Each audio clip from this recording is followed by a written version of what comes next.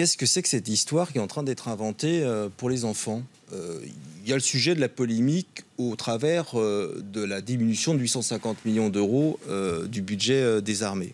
Ça, c'est un débat politique. Mais moi, je veux porter le débat sur l'aspect institutionnel. En fait, on a quoi? On a le chef d'état-major des armées qui se rend où?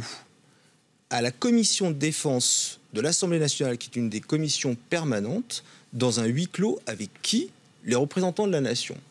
Et dans cet échange, et encore heureux, le Parlement, je le rappelle à ceux qui nous regardent, est censé euh, contrôler l'exécutif. Hein. C'est notre rôle. J'ai bien compris que le président de la République souhaiterait être aujourd'hui seul euh, sur tous les leviers de commandement. Mais euh, en France, il y a une chose qui s'appelle la Ve République, les institutions.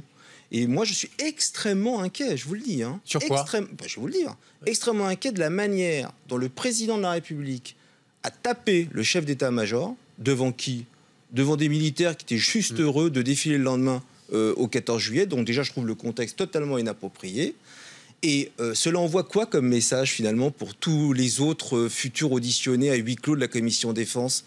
Que si le, le ton de l'échange avec les parlementaires censés contrôler l'exécutif ne convient pas au président de la République, c'est peut-être, on va le savoir dans quelques jours, une sorte de limogeage habillé.